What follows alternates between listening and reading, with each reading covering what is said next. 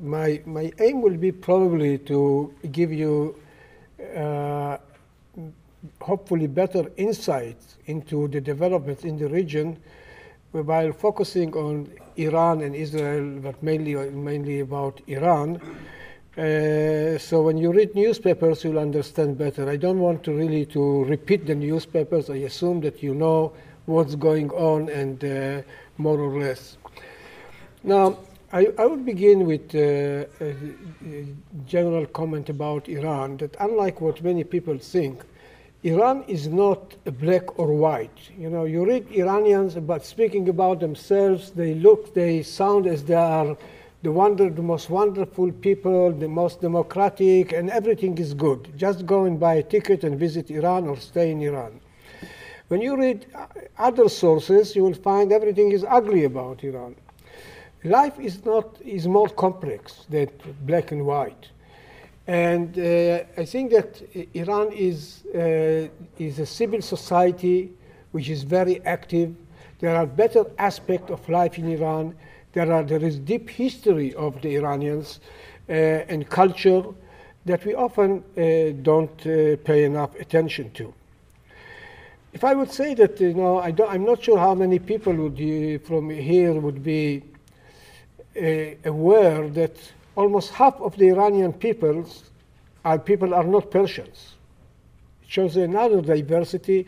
You have many Azerbaijanis, uh, Kurds, Turks, Arabs, uh, Baluch, uh, all over the country, mainly in the periphery of the country.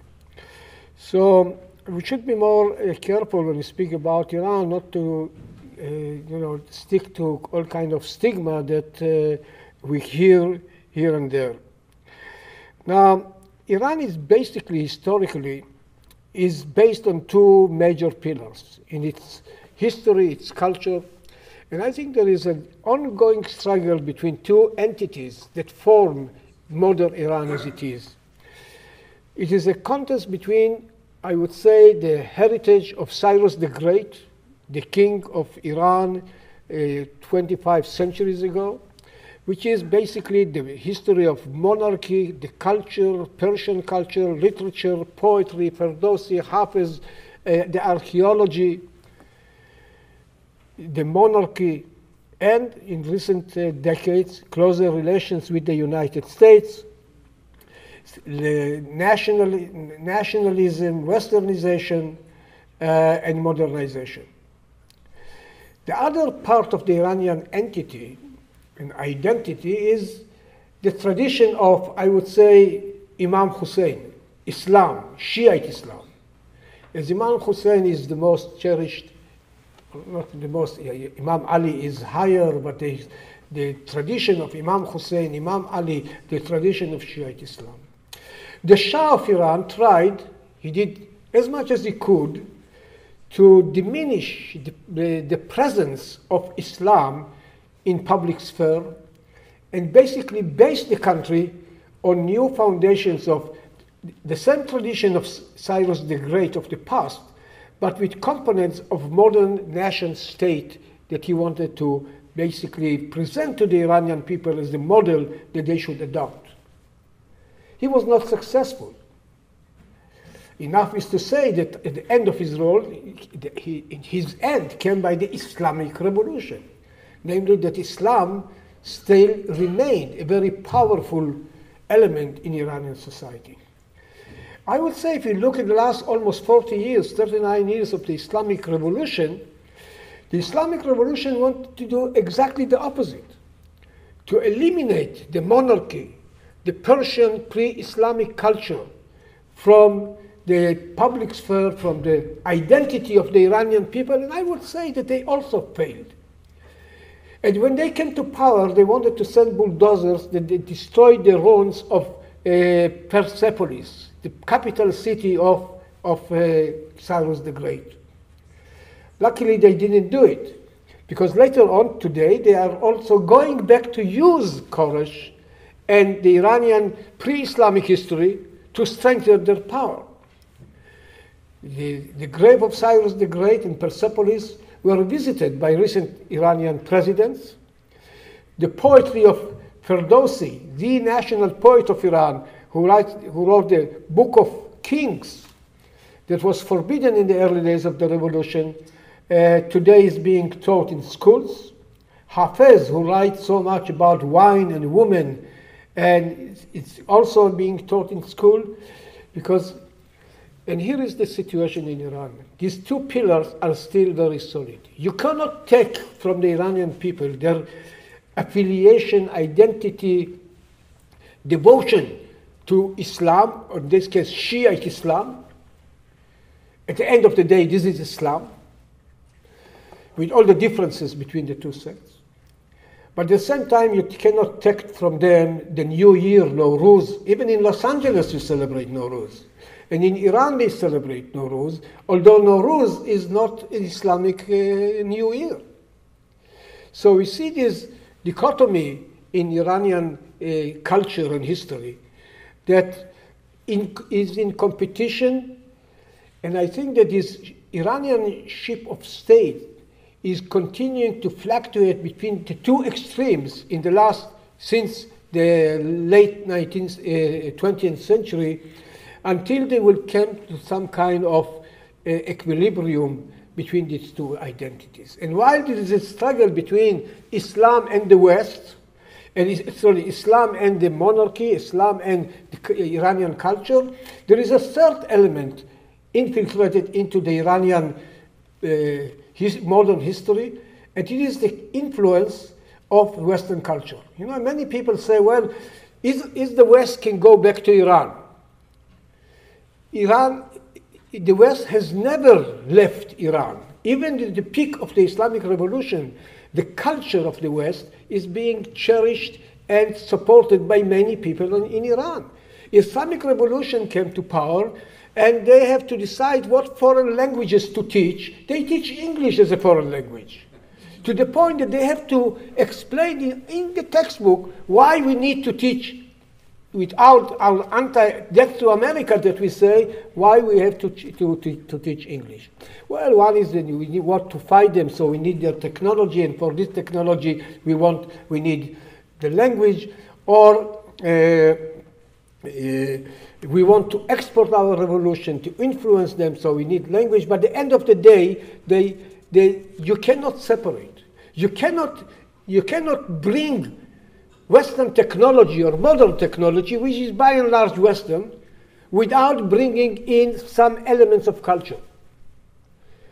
So, in fact, this Iranian psyche is being somehow influenced today by these triangular loyalties to Islam, to the Persian culture, and to Western uh, uh influence, Western civilization. And the struggle is, therefore, between these three elements. And there is also a struggle, a competition. It happens in any revolutionary uh, movement. Upon transition from opposition to power, now you have to implement your ideology. So there are, inter- there are conflicts between the pure ideology, the professed ideology during the struggle, during the uh, revolutionary movement and the interest of, well, here's what interest of whom? Interest of the state, interest of the ruling elite, interest of Islam. But this is very easily being resolved in Iran because they say, we are Islam. So they don't have this problem what is the uh, loyalty that you want to forge? Because at the end of the day for them, loyalty to Islam is loyalty to the Islamic revolutionary system, and it's, it is uh, equivalent or, uh, and it's the same like supporting the current regime. But there is this conflict between the practical uh, interest of running a state. For example, when they came to power, Ayatollah Khomeini said that there is no difference between Muslims all Muslims are brothers. There is no difference between Shiites, Sunnis, Baluch, Turk, and so on and so forth. The first decision in foreign policy of Iran was how you call this water between the Arabs and the Persians, which the Persian call the Persian Gulf, and the Arab called the Arab Gulf. And basically, there are two nations in the, in the world, I think, that they use the term Persian, Persian Gulf without any hesitation. It's Iran and Israel. And in many conferences that I participate, there are Iranians, when I speak in Persian, in Persian Gulf, the Arabs are angry, the Iranians are so happy. But, but it's, uh, you can see the last uh, statement of uh, uh, speech of your president, October 13th, it's not the last, he, he wanted to bring closer the Iranian people to him. So he's, but at the same time that he said we appreciate your culture, your history, and then he speaks about the Arab Gulf for God's sake, if you want to bring them closer, and they are all patriots, you know. And I saw this Iranian patriotism even here. It was two weeks ago in, uh, in an event organized by the Iranian American Jewish Federation. And they usually, the Iranian American uh, Jews, they have three anthems that they begin every ceremony. The one was the American one, and I realized that many of these people don't even know the words of it, which are not easy words. Then there was the Israeli one, and this was more, the atmosphere was more heated. And then, and this was the occasion was on the 40th years, or almost 40 years, to the, to the execution of the leader of the Iranian Jewish community. And here is the Persian anthem, and you could see the crowd screaming and singing it. It's like, you know, you are in Tehran. So this, this question is patriotism. It's not only identity with this and that. Therefore, even on the issue of the nuclear weapon, you saw many, many people, even, even exiled Iranians who are not in line with the Islamic revolutionary system, they supported the nuclear uh, plan and the nuclear uh, deal that has been done. Now, when revolutions come to, come to power, usually faced with the harsh realities of life, they need to retreat often from the dogma for the sake of interest. And that's exactly what the Iranians are doing.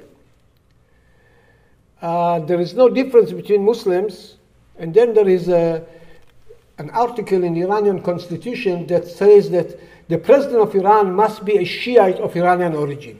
If there is no difference, so why? The, it's the constitution of 79. And in the first ele presidential elections in Iran, one of the leading candidates, his name was Jalaluddin Parsi, Jalaluddin the Persian.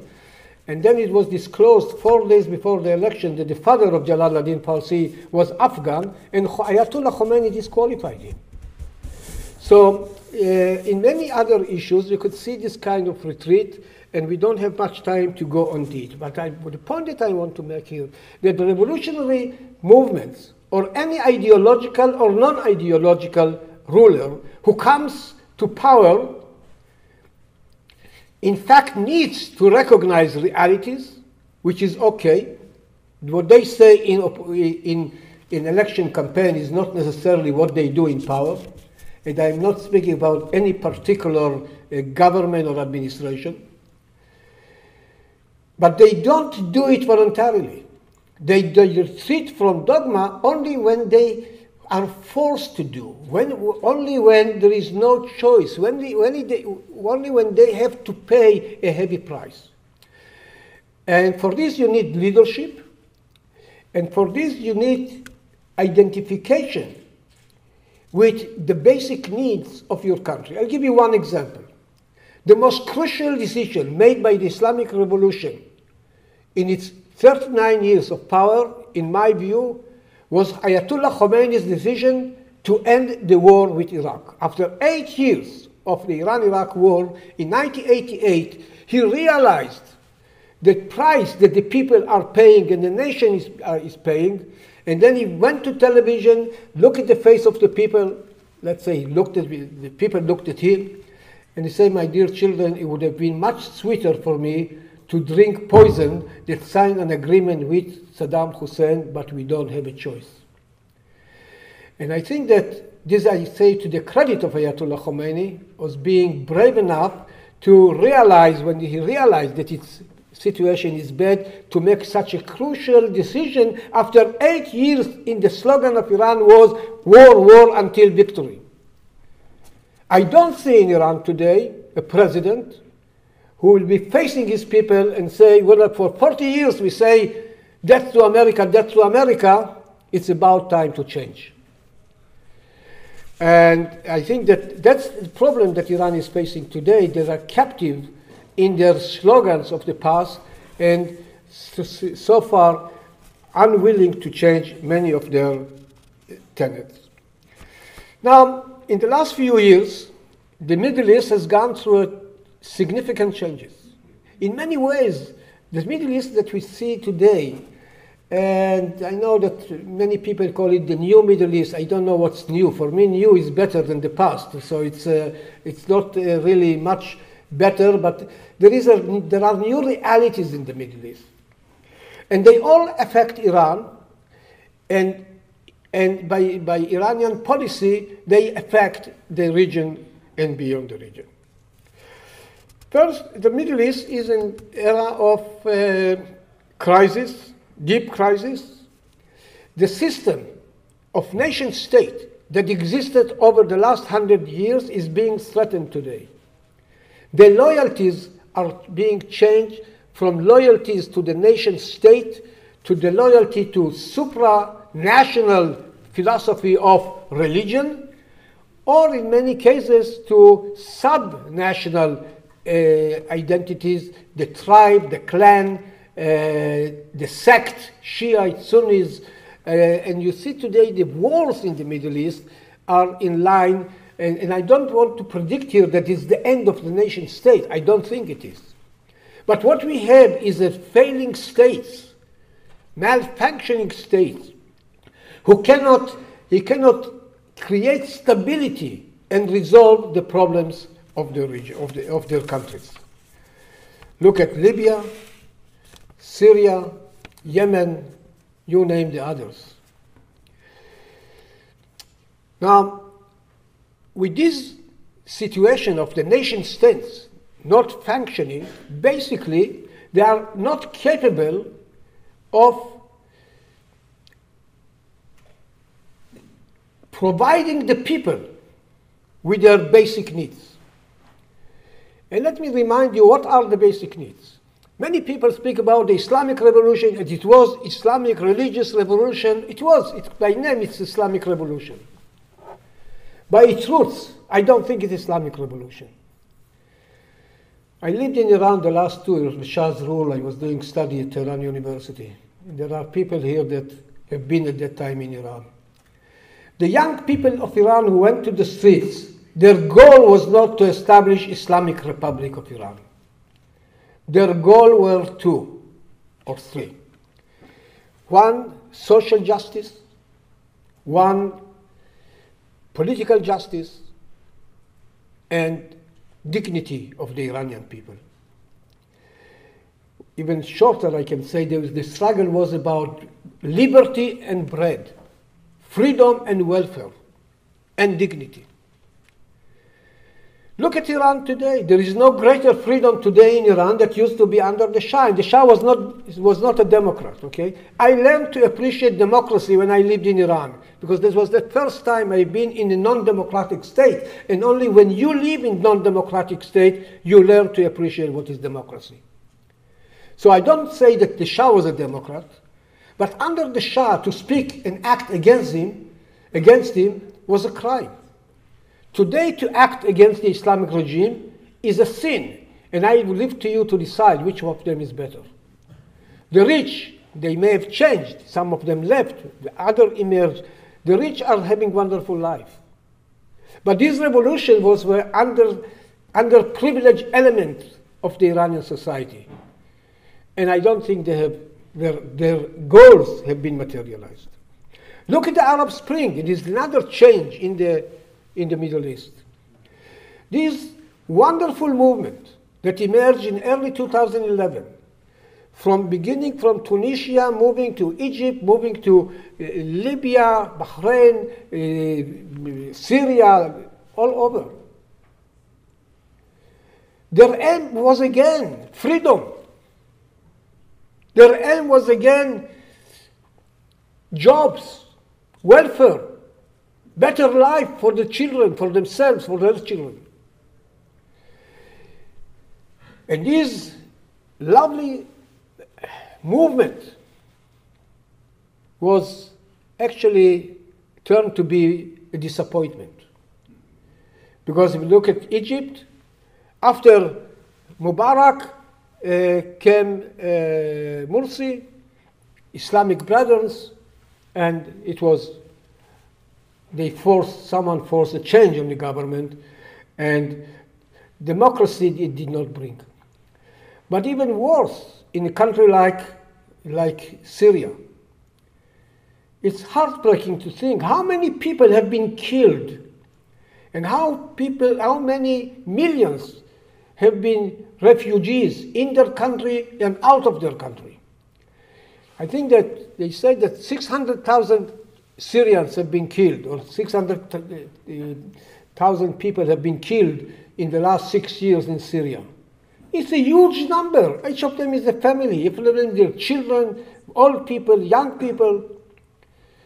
And this is all in names of factions, tribes, in Syria, in Yemen, the most devastating situation of all the countries, the weakest economically of all the Arab countries, probably.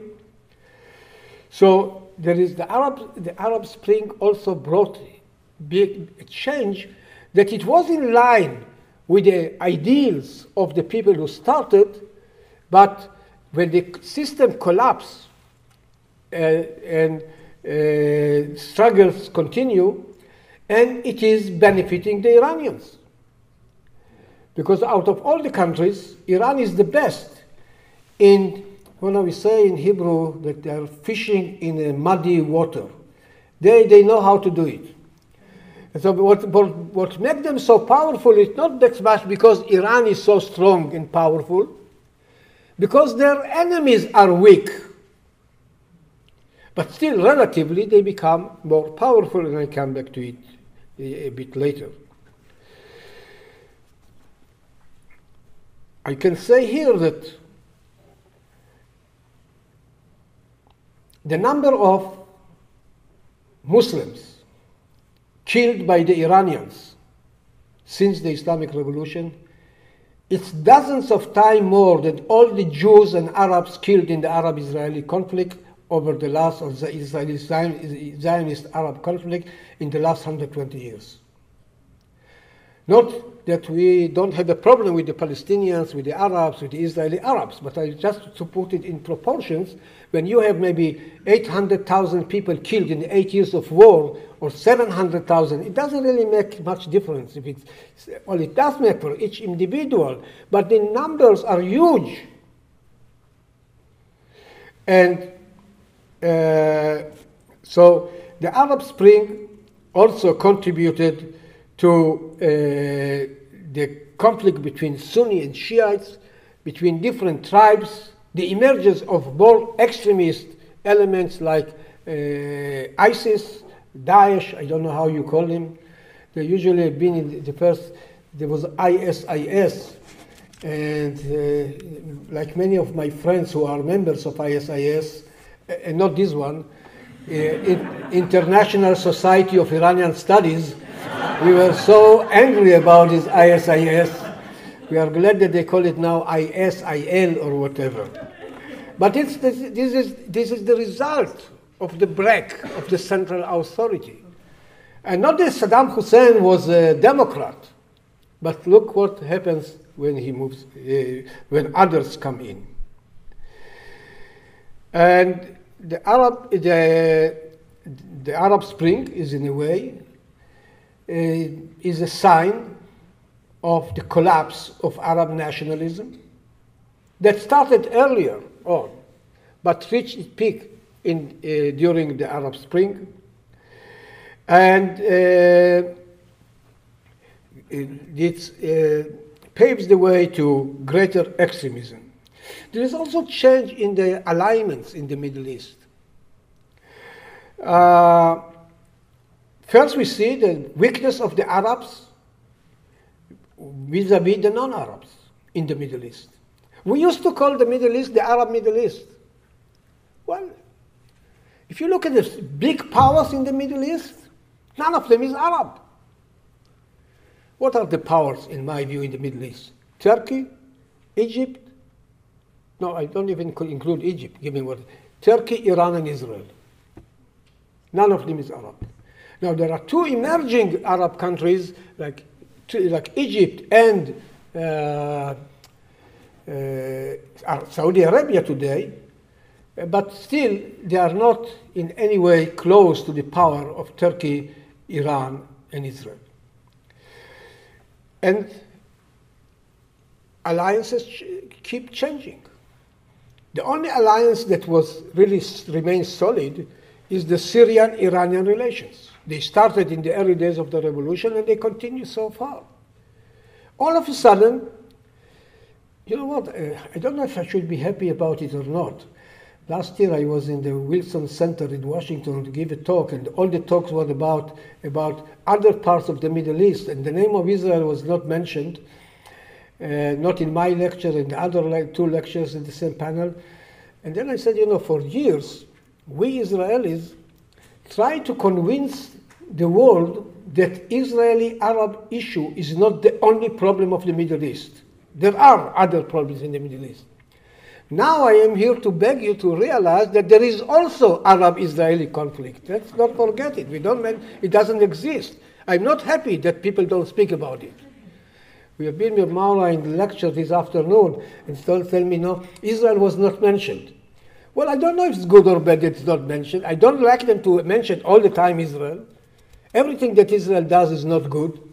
I was reading in uh, a uh, study about the Israeli army in terms of moral, was one of the first best in treating women in occupied territories. The number of rapes in under occupation in the world, the lowest number is by the Israelis. And I thought, well, it, if something is written about, you know, the morale of uh, uh, the morality of this. And then I was go a few uh, sentences later, I see an Arab comment on it, and this is, you know why the Israeli soldiers don't rape the Palestinians? Because our racism, and it's not in their, uh, you know, it doesn't give them this, even the appetite to rape a woman who's Palestinian. So no matter, damn it if you do or damn it if you don't do, you have still a problem. But I think the Arab Israelis, I want to say that it's still, it's still a problem. Now, we, Israel was in dilemma in the last few years. Which side to take in Syria? And the conventional wisdom was that the evil that you know is better than the evil that you don't know. Namely, you know Hafez al-Assad, we know how to deal with him, but we don't know what is ISIS and what is all these radicals, the non-state entities. So basically, the policy of Israel was, in, in a way, not to encourage the collapse of the Syrian government. My point is that we think that there is an evil that we know. We don't recognize that the situation is changed. And we do not necessarily know what we think we know. Because things have changed. Uh, but we are stuck in our concept of what is Hafiz al-Assad and what is B, C, and D. And I think one of the things that Israel did not do good in the last few years is not to adjust its policy to the changing realities of the Middle East. But the Iranians are very good in it. When Iranians realized that they, they are going to lose the war in Syria two years ago, they initiated contacting Putin and convinced him to send his troops. You didn't have to work hard to convince uh, Putin to send his air force in this region. But I think that in a way, this was a, a recognition of Iran of their weakness not because of their strength. They didn't bring uh, Russia because they were strong. They brought Russia because they were weak. But see what happened also in the international scene. America is signaling that they want to go out, not from now. It started maybe even before Obama, but certainly under Obama. And what you do after years of intervention and policy in the Middle East, when you have allies in the Middle East, one of them is Saudi Arabia, one of them is Israel, one of them is Egypt, all of a sudden you signal that you want to go out, of course someone else will come in.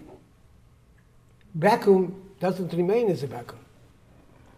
And what we see today is a kind of change of guards. And I'm sorry that I don't have much to tell you about the current administration because I don't really understand what is this current administration doing. But at least under, under Obama, this was the situation. That, that is, the uh, United States is out, and if I may say something good about the current administration, the, the one good things that I can see is they frightened Iran to death. Don't, don't pay attention to what they say.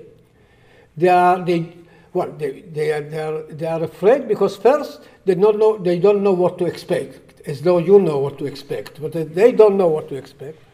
And they had a wonderful deal in hand, and it's another element of the changing Middle East and the rising power of Iran.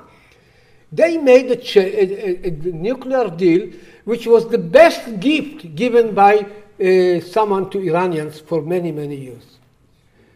Now, if Iranians are uh, fair with themselves and they ask the question, which is the country that helped Iranian national security more than any other country in the world, there is only one answer the United States of America. The United States, which led a coalition to destroy the military power of uh, Iraq in 1991, the enemy number one with which Iran was in war for eight years. Then they moved to 2002 to remove the enemy number two of Iran, the Taliban in Afghanistan. When you remove from the neighborhood, from the east border and west border, the two major enemies, of course it is wonderful for Iran. And in 2003, they moved on and removed Saddam Hussein altogether. In 2009, when the young Iranian people were in the streets, for 10 days, the President of the United States did not say a word. I, I don't suggest that you should have hugged and praised this movement. It may be a kiss of death to them. But for 10 days, not to say a word about these younger millions of people going to the streets and demonstrating. You know, you know, Obama has a meaning in Persian.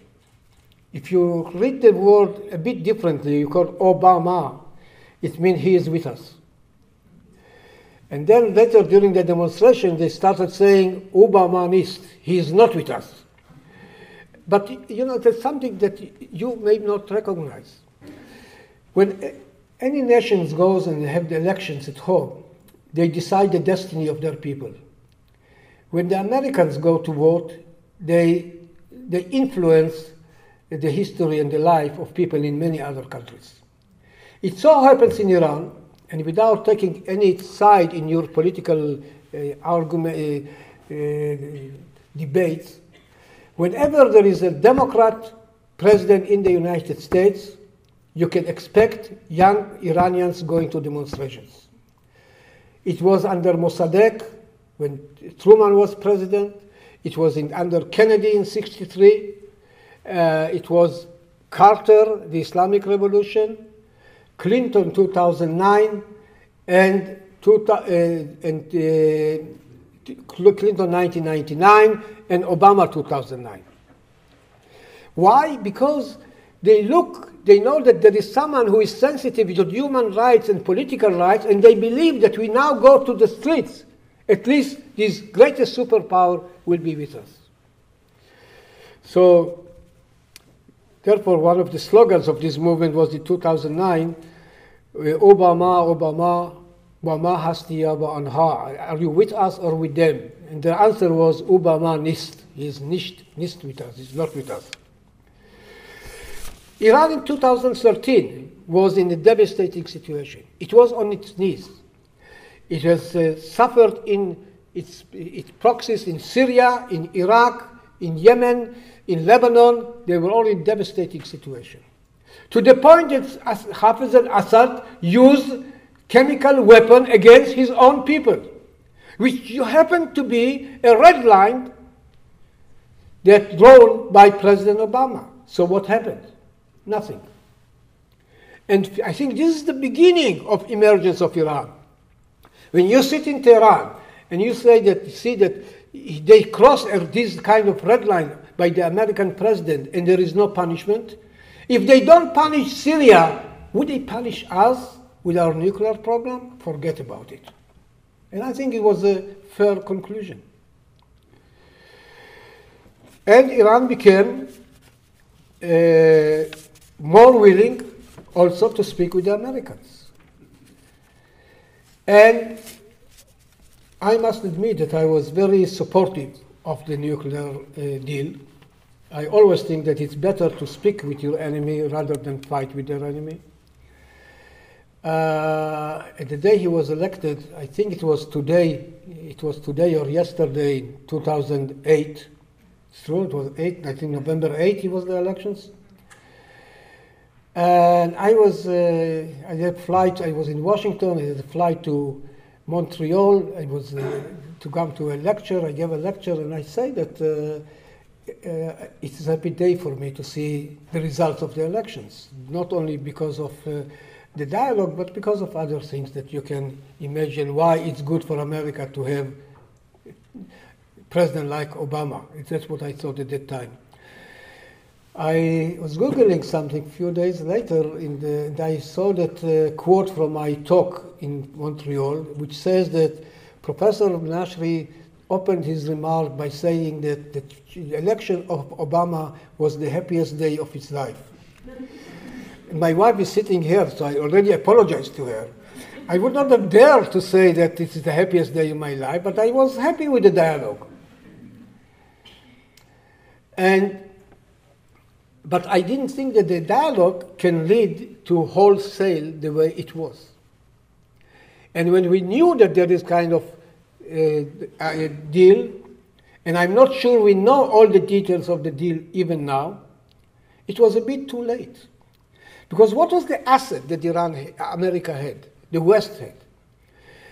That there was a transatlantic alliance.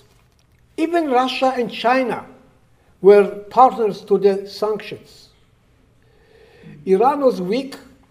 You had a unified uh, front. Sanctions were giving hell to the Iranians government, not only to the people. And that's why they brought them to negotiation table. Uh, and they used this low position that they had to do a deal that is as I said, the most important gift that they give. It was so good, you know, how I understood finally it was so good. When I saw the Iranian asking their people not to celebrate the day the deal was announced, not to make them believe that, well, we are happy we got a good deal because we continue and say it's a bad deal. When, when uh, President uh, uh, Trump spoke about uh, putting an end to this deal, uh, we saw how, how scared they have been. And they continue and they, uh, they demand sticking to the, to the deal. Now, uh, what this bring us? This brings us to a situation that Iran today feels strong. And the Iran that feels strong it goes back to its initial ideological dogmatic principles of 1979. Export the revolution, take leadership of the Muslim world. We are the world, not only we are Islam. And since then we see them uh, celebrating. Can you show this, uh, the Iron Fist one? This, the, the next slide here. Okay. This is the, what, what appeared on the website of Ayatollah Khamenei one week after this uh, new nuclear deal. Iron fist, that's how we broken, how I go it is, uh, how we broken, the other one, yeah. broken the power of Iran, America. And this is the supreme leader Khamenei. Those who have leveled sanctions against us yesterday are dying today because Iran has become the regional foremost military. And the defense minister, you can read, despite their great pride, the regime of the arrogance, the United States, sat humbly behind the negotiating table and obeyed the right of the Iranian people. And Khamenei made it public. We are not going to retreat from the goal death to America, because this is part of the DNA of the Islamic Revolution. Now Iran pretends to be an empire. Iran was an empire. And that's one of the power of Iran, their, their depth of history. That's like Younesi, former intelligence minister. Iran was born an empire. It is once again empire with its capital Iraq, the center of Iranian heritage, culture, and identity. The, Iraq has turned to be the capital city of Iran, of Iranian empire. Or if you look at uh, Rahim Safavi, former commander of Revolutionary Guard, Iran's lines of defense against Israel stretches to South Lebanon, and our strategic defensive depth reaches to the Mediterranean and above Israel's head. This is the power of the Iranian arrogance.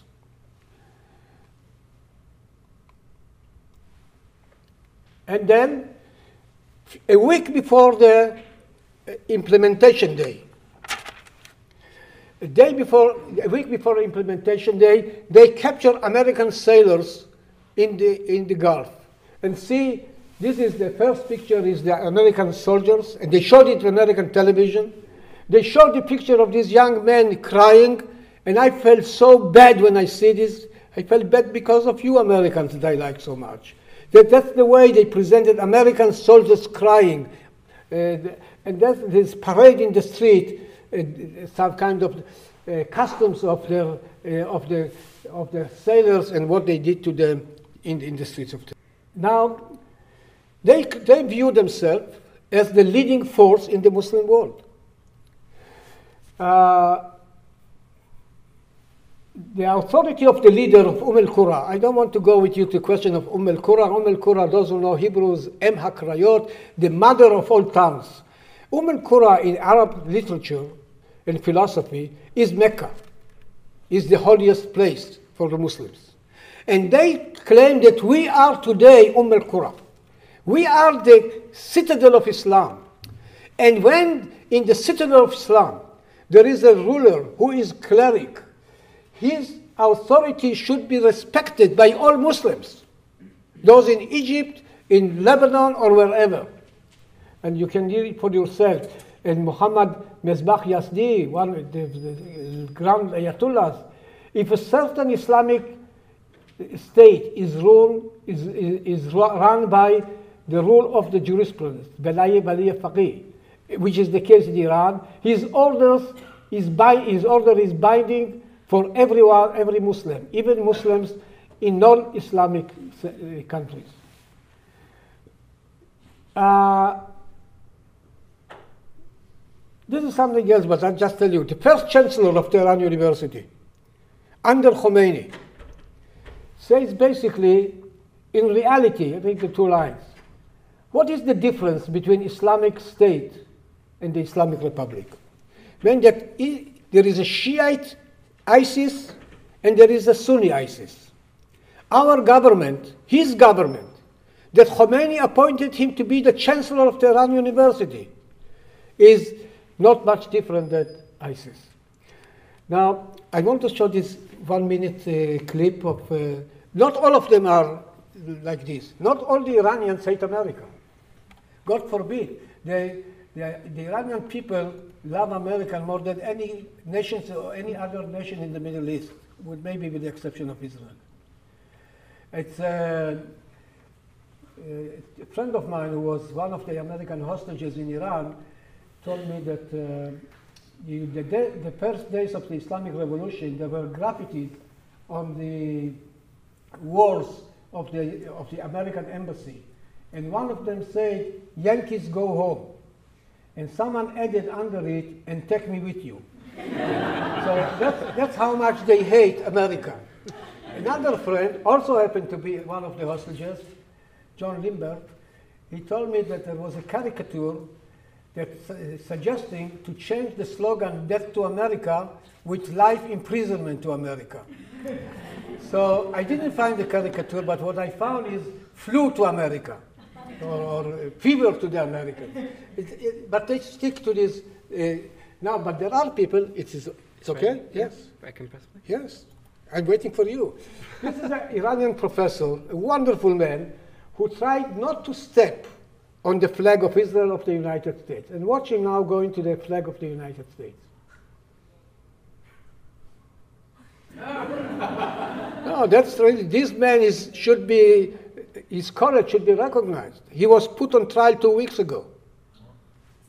Not because of this, because there are other things that they are. See, it's pressuring, pushing people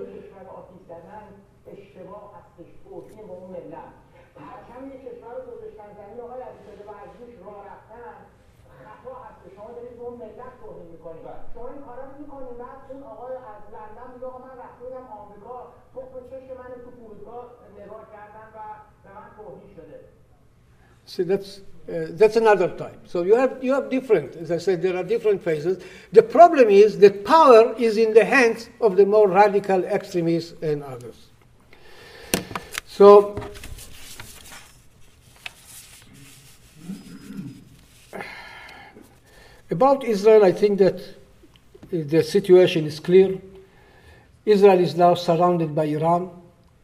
Israel, Iran is in the Golan Heights. Iran is in Lebanon. Iran is in Gaza. You don't have to believe me. Go and see what the Iranians themselves say.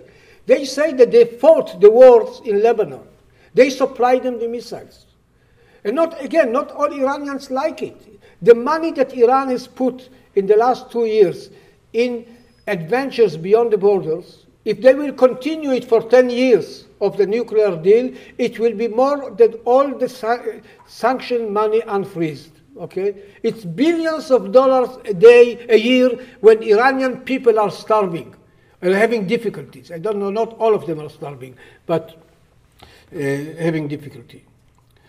And then we have, for example, in Iran, people which is a galactic uh, vision that God has uh, sent them to save the nation, and they are paving the day, the way to the return of the, the Imam that the Shiites are expecting, the Mahdi, the Shia, the Messiah. He was in the UN, he gave a speech, and this he, he called, uh, he prayed to hasten the return of the Imam, which is still okay. When he back, went back, he was telling the Ayatollahs about, about his experience in Iran, in, in the UN. He said, during the 27 minutes that I spoke, people told me, he says, and I realized myself, there was a hail of light above my head with God protection. no, go, go and, go and uh, Google it. There is also a light here, but mine, mine is different. Now, I tell you my, my conclusion of it. People who speak like this should not get close to nuclear weapon. They should not get close to push the button. And this man was eight years president, and he was again willing to be president in 2017. Very briefly, I would say about, about some general things that are just as food of thought. There is a lack of understanding of the cultures of each other. They say something, you interpret it by your own culture and get different conclusions. One example.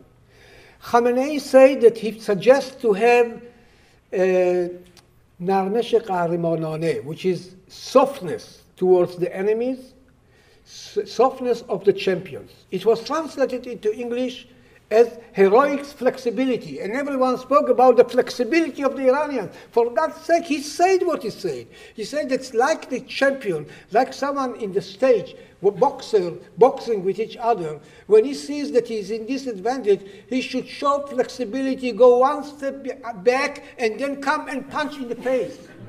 And this is not moderation. What, what happened, therefore, that you make strategic change in your policy, like America did with the nuclear weapon, the Americans doing a tactical change. Uh, I doubt that Shiites can, can rule over a nation.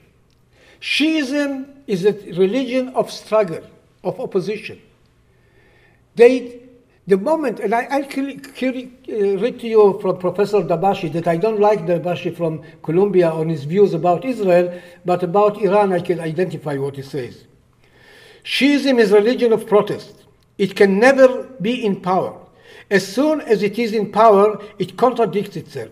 It can never politically succeed because its political success is its moral failure. And he goes on to explain why Shiites cannot, uh, cannot really succeed in power. And I think this is another, I put it in simpler way. I say, their emerging of their power gave them this kind of chutzpah to believe that they can tell the world how to behave and do everything. And for a religion that has been always, it, it is a failed religion. If you take Shiite, Shiite were 15% of, uh, of Muslims, so this is not the majority, this is not the main uh, uh, line of Islam. There are 85% who are Sunnis. And you want to control them, you want them to obey your leader. So I don't think it's possible, but Iran, Shiism is a sad religion. They don't have happy holidays. Well, people say the New Year. New Year is not, is not Muslim. The birthday of the, of the Prophet, the birthday of Ali, that's right. But their main uh, celebration, uh, holidays are the massacre of their imams. There have been 12 imams in Shiite, Iranian Shiite Islam. 11 of them were killed young. The, 12th disappeared to return in the 19th, 9th century to return one day. So if you look at the face of the Iranians, you don't see smile. Unless recently you see Zarif is full of smile. Uh, I thought there is only one picture of Khomeini smiling until uh, in my class here, you know, we, we learn from our students. So one of the students showed me another picture of him smiling. But there, there is a handful of pictures of him smiling. He's usually very, very, very uh, angry. Uh, now, to conclude, Iran today celebrates his power. They look around themselves and they see themselves in control of four Arab capitals. I didn't read to you Mehdi Taeb, one of these uh, other heroes today, Syria is the 35th district of Iran, and the strategic dis district, the strategic district for it. Losing it would lead to the loss of Tehran. It is more important than Khuzestan, a province populated mostly by Arab who was on the Persian Gulf and suffered during the Iran-Iraq war. And he says, someone else in a different case, if Egypt will fall and be destroyed, nothing will happen to Islam. But if Tehran will fall, it will be the end of Islam. So that's the feeling that they have today. And a final word about Israel. I said before, we did not really recognize the opportunities that have been in the Islamic Revolution, the Iran Iraq War, and we stick to our old dogma the Arabs are enemies. Well, the Arabs have been enemies, Many of them are still enemies. They are not lovers of Zion, but as Prime Minister uh, Rabin said, you don't make peace with, uh, with your friends, you make peace with enemies. But today, while in the 50s, Ben Gurion, the first prime minister, came with this doctrine of we don't we cannot have relations with our neighbors, let's develop relations with the neighbors of the neighbors. He didn't want to say the enemies of the enemies. So who are the neighbors of the neighbor? Iran, Turkey, Ethiopia.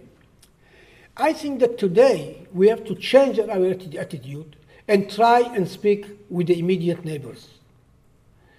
Now, it's not going to be easy. It's, this is a conflict between two stubborn peoples. Uh, no one is willing to compromise. But I want to show you the last uh, I received it from a friend of mine in Tehran. There are people who read Persian here. It says, I'll read it in English. Ships in the, in the ocean, in the sea. if they are not in motion, their destiny is decided by the waves. If you don't have a policy, if you don't move, ultimately the waves will carry you here and there. And I think that, very briefly, my suggestion to my government and the Arab governments, we to recognize that we are in the middle of storm and we cannot stand still. We need to come with new initiatives.